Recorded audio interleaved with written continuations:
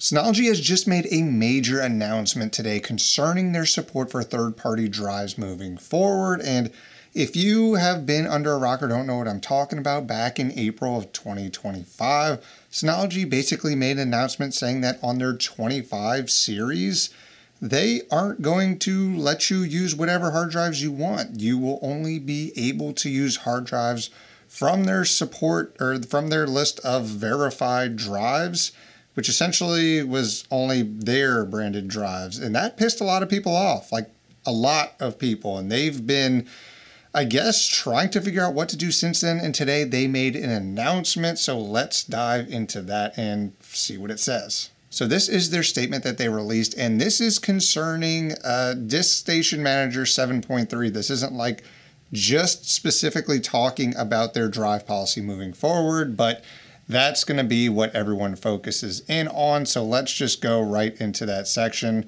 I'll actually read the intro just so we can get the vibe of everything here.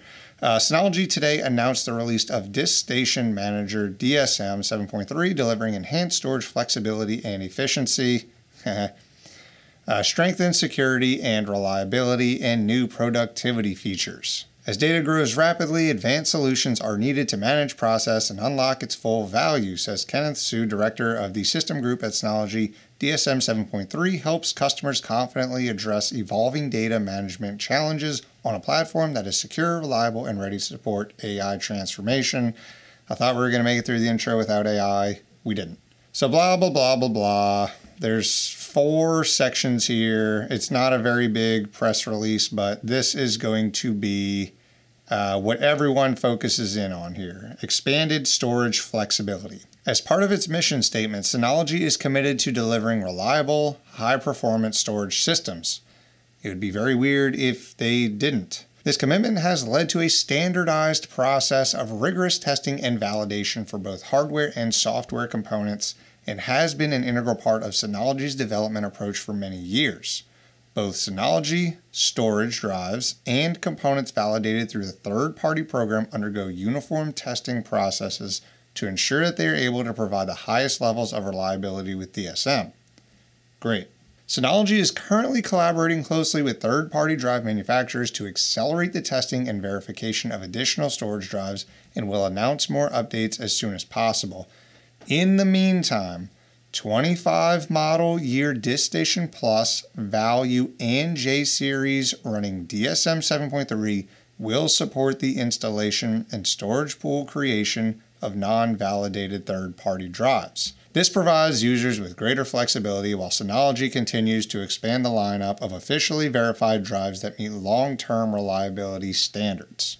And then in here, you just have some more technical updates to DSM uh, 7.3, some AI stuff that no one cares about. This is what you guys care about. So, again, there wasn't a lot there, but I think the main point was there that a lot of people were hoping to see. Now, I have some notes written down here, so if I look down, I'm, I'm reading off of my bullet points that I wanted to talk about. So, initial reaction to this um, great. They're, they're saying on the 25 model year, all the entire lineup, you'll be able to run third party drives. Great. I think that's a step in the right direction.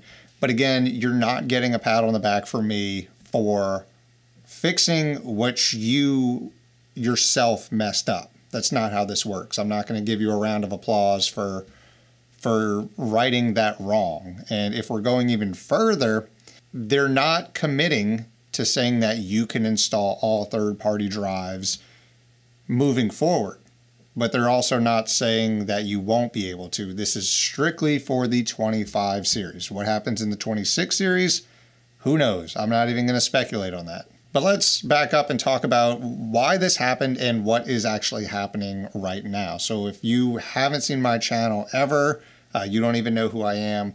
Uh, I've created Synology content. I use Synology in my home lab. I've done videos sponsored by Synology. I've done videos that weren't sponsored by Synology. At this point, I have cut off all content on my channel from when they made that announcement. I don't do any Synology branded content because this that announcement just rubbed people the wrong way. It rubbed me the wrong way. I didn't like it. I didn't agree with it. No content. But in the last few weeks, uh, Synology rep has reached out to me and said, Hey, can we sit down and talk about this moving forward? I have some information on what's happening, and I'd like to explain why we did what we did.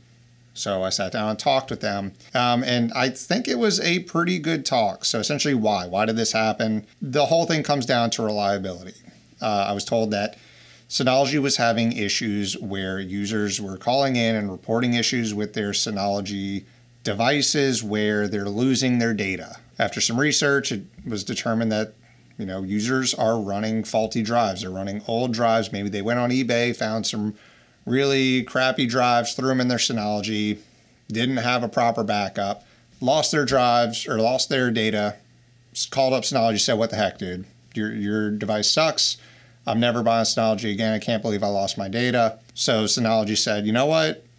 How about we do this? How about we say we'll only allow reliable drives? We'll only let people run the most reliable drives on our devices. That way, you know, we don't have to deal with customers being mad that they lost their data. Customers don't have to be upset that they lost their data. Everyone wins. Everyone knows that's not what happened, right? The initial plan was to gather this big list of verified drives that they were deemed reliable and say, here you go. Here's all the ones that are good to go. As long as you're not installing like really crappy drives, you're fine. They reached out to uh, third party drive manufacturers, partnered with them to say, here's our testing process. Can you get these drives validated and verified for us? And what I was told would happen, essentially, what made this kind of snowball was that the announcement was released and was told to go live before any of the testing was even remotely complete.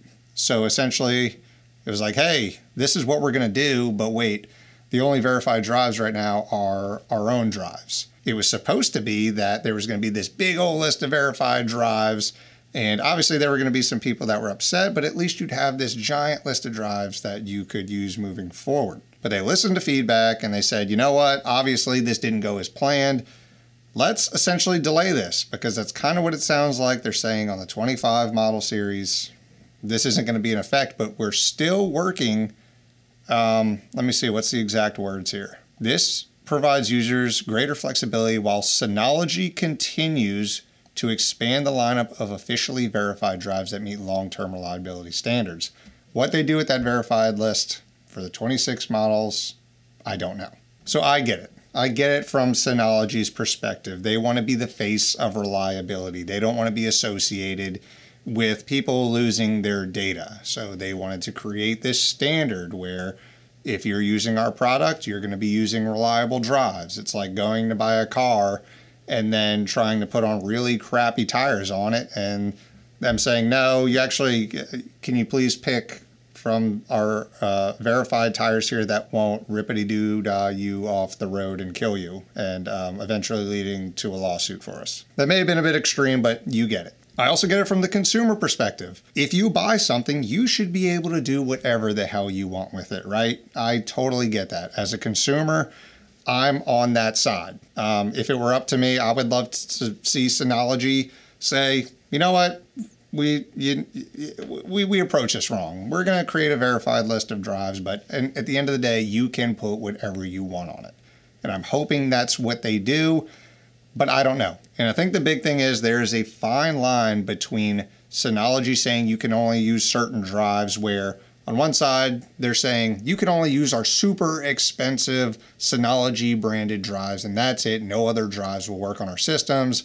Versus them saying, hey, um, just don't use 20 year old Western Digital three terabyte green drives, okay? Because those kind of suck, so don't so don't use those. There's a line there, and that line is probably going to be their verification list. How strict they are on that, I have no idea. Again, I'm speculating. I'm hoping they're reasonable with it. I'm hoping they don't even put a hard lock on it.